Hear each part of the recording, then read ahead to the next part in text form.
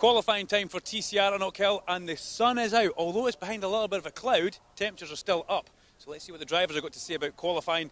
This morning's last practice session was very, very fast. Dan Lloyd managed to get sub 50 seconds round here, sub 51 seconds. But Derek Palmer Jr., we haven't really caught up with you too much this weekend or this week. How's things going in the car? Are you set and ready for qualifying? I think we are now, fighting a good fight. So, um, yeah, we've got a lot of work to do in this session, but we'll uh, try and get a banker in and then just uh, send it. Pace is hot, isn't it? Yeah, it's very quick. I mean, this morning when they, I guess they put the new tyres on, it was an impressive lap time, you know. Um, 50, late 50 seconds, right? that's, that's shifting. Impressive. Uh, you know, you've got a good teammate, you've got Aiden Moffat. Are you using some of his data to help you? Yeah, for sure. Like, it's learning all the time from him. Um, we've had our own small issue with the brakes, which has kind of been hampering us, but hopefully we've got that sorted now, and then that should let us really focus on uh, on really try to get a time in. So that that's the, the main focus in this, and uh, yeah, new boots on this time and see how we go. Listen, good luck. We're going to go and catch a word with the fastest man of the weekend so far. He's down here drinking a little bottle of water. That's Dan Lloyd with his teammate, the West Coast Racing Man. Okay, a little bit of hydration before you start here, but you sent a message to everybody this morning when you're on 50.9. It's qualifying now, though. This is where it really counts. Yeah, exactly. It was a good time this morning. I think it, we might actually go slower this afternoon because it's got a lot hotter. Track temps are at like 32, 33, so I think a low 51 would be a good lap time, but we'll see. Are you going to work as a team together here? Is this every man and woman for themselves? Normally you can strategise a little bit when you go out, especially when we're in order.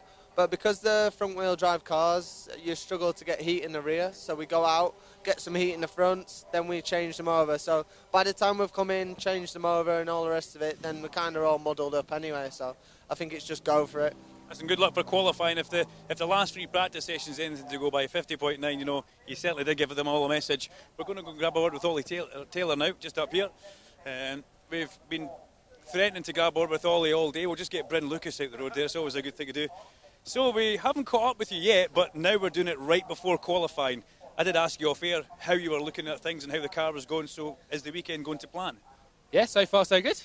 Yeah, it's all going well. Um, car's doing great. Love the circuit. Weather's holding out. So yeah, just the weather's lovely, isn't it? Does you know this heat? Is it making you adjust the car in any sort of like direction? Not particularly. No, we've done a little bit of um, hot running before. Doesn't seem to really be an issue.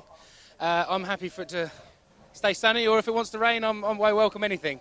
Yeah, you've got a good teammate yourself and Finlay Crocker both running out the pyro. Obviously, they're different cars. Is there any kind of you know help coming from Finlay because he does know the circuit a little bit better?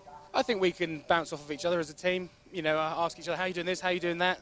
Uh, I don't think many people have got experience of it running in this direction. So anything you can get, uh, anything you can get in, insider info is a great help. Let's make the best of luck for qualifying.